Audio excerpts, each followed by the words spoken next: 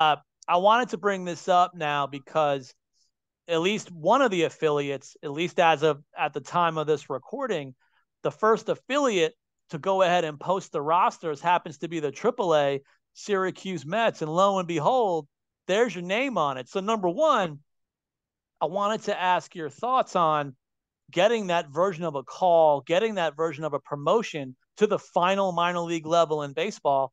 Uh, and then number two, if I can get your thoughts on roster structurally, you're listed as a reliever. So, what are some of your thoughts on getting this spot all the way at the highest minor league level, and then kind of the rostering of where you are, at least as of now, you know, on the piece of paper?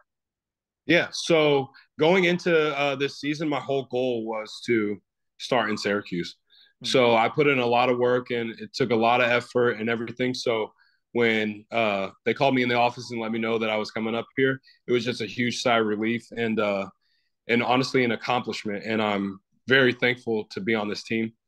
Um, and so I, I really I really enjoyed that moment. Uh, called my dad and everything, and we were happy. So it's really a big step forward uh, in my baseball career, and just having the meetings that we've had, it's it's been it's been eye opening because the coaches are talking about like when you get called up to the major leagues and how that's going to work, who you have to talk to, things like that. So it's just, it really, uh, I'm already super motivated, but it just gave me that little bit more motivation knowing now that there's nowhere above this except for my my goal, my final goal that I've had since I was a child, and that's to be in the major leagues. So it really is um it really has me excited for this season just to see what's going to happen and uh and make it.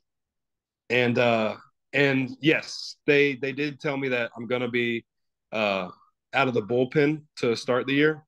But um that that's perfectly fine with me. I think uh just having a spot on the team is plenty for me. So if they need me out of the bullpen i'll come out of the bullpen and I'll shove. If they want me to start. I'll start a game and I'll shove they want me to close. I'll do that too, and it's really not a problem for me. Um, I'm just here to to play baseball. So any way they need me, I'll do it.